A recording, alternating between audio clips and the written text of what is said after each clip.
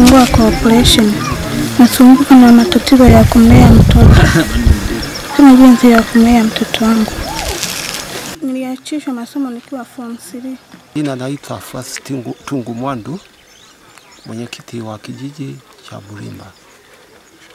E, kama ulivyo ulivyouliza, ni changamoto nyingi zinazowapata hasa hasa akina dada na akina mama kwa ujumla sehemu hii ya ukatili wa kijinsia, na ni wengi wanapata mambo ya, ya, ya, ya, ya kukatiliwa.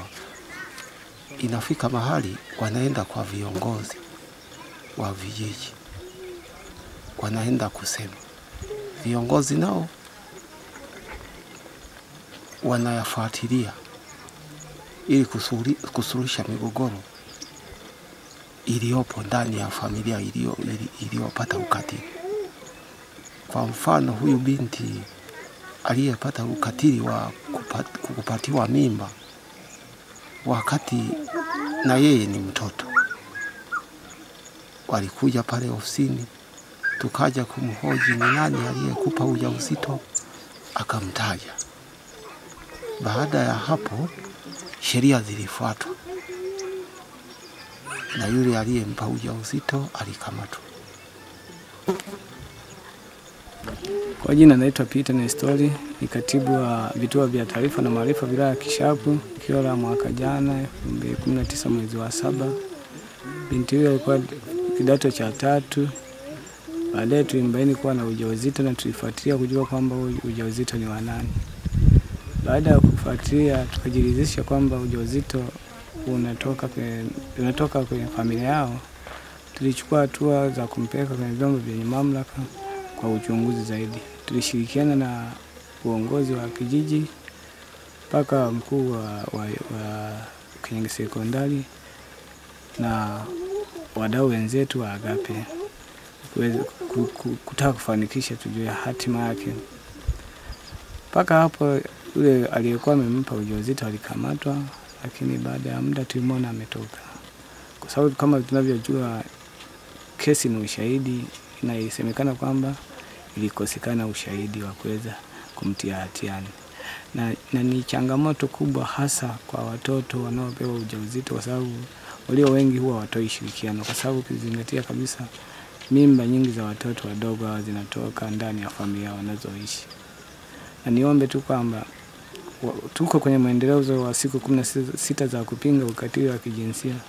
Na ninashukuru kwa zawadi aliyopata huyo mtoto kwa sababu itamsaidia pale, itamsaidia e, kwa sababu amepata nguo na amepatiwa simu pia, na nimshukuru sana huyu dada aliyempatia huu msaada. Endelee kushirikiana na viongozi wa kijiji, tuendelee kushirikiana na na serikali, kwa sababu haya masuala ya ukatili hatuwezi kuiachia serikali peke yake. Ni masuala yetu ambayo sisi kama wadau tunaendelea kupambana na ukatili wa kijinsia, lakini pia hii utamaduni wetu na, na mila na desturi zetu. Sisemi kwamba mila zote ni mbaya, lakini kuna baadhi ya mila ambazo ni nzuri, lakini kuna baadhi ya mila ni mbaya ambazo zinaweza zinaingiza kwenye shida watoto wa kike. Mimi hadi Agasti kwa mwaka jana 2019 tulipokea tulipokea makosa mia hamsini na moja lakini kwa mwaka huu Juni hadi Agasti tumepokea makosa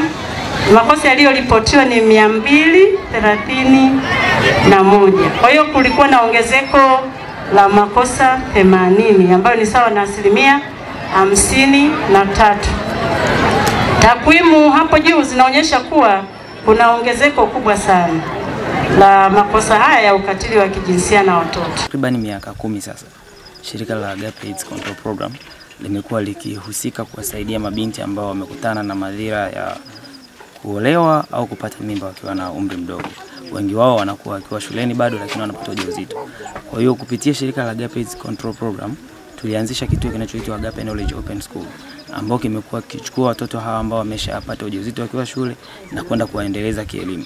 Lakini kwa wale ambao waliamua kutokuendelea na masomo basi wanapewa fursa ya kupata elimu ya ufundi kupitia vyuo vya ufundi vya serikali. Kwa mfano, kwa sasa tunafanya partnership na chuo kinaitwa Buangija FDC ambacho kipo hapa hapa Shinyanga.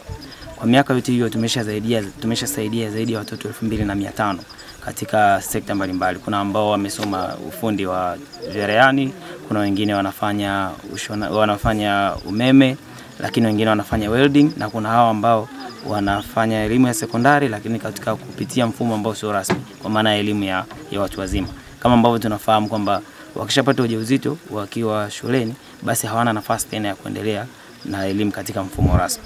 Kwa hiyo tuna kituo hicho ambacho kimekuwa kikiwasaidia mabinti kama hao. Leo tumefika nyumbani kwa binti huyu ambaye pia uh, sisi tumefahamishwa naye kupitia uh, wadau wenzetu ambao tuko kwenye mtandao wa elimu Tanzania Tenment. Kwa hiyo walitaarifu kwamba kuna tukio la aina hii lipo uh, katika mazingira haya, basi na mimi nikaona ni vyema tuje tujiunge pamoja nao kwenda kuja kumtembelea binti huyu, lakini kukabidhi msaada ulio ambao umeletwa kwa ajili yake na kuangalia fursa ambayo binti anaweza akaitumia kwa maana ya mwakani kuweza kuendelea na masomo kwenye kituo cha Agape Open Knowledge School. Pamoja na, pamoja na huduma hiyo ya kuwasaidia hawa ambao wameshakutana na hizo changamoto, lakini hatufanyi tu kwa kuwasaidia, bali kwa wale ambao hawajakutana nao madhira pia. Shirika la Agape limekuwa likihusika na kutoa elimu kwa njia mbalimbali. Tumekuwa tukikutana na wanafunzi kupitia vilabu vyao, lakini tumekuwa tukikutana pia na wazazi kupitia uh, uh, forum za wazazi ambazo wanakutana, lakini pia tumekuwa tukitoa elimu kwenye mikutano ya hadhara kwa kushirikiana na viongozi wa serikali pamoja na viongozi wa kijamii.